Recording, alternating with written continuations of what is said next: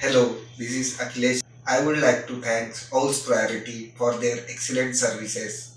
I am happy to share my experience that my application has been shortlisted and special thanks to Ms. Sujitra ma'am for guiding me through this process. Thank you.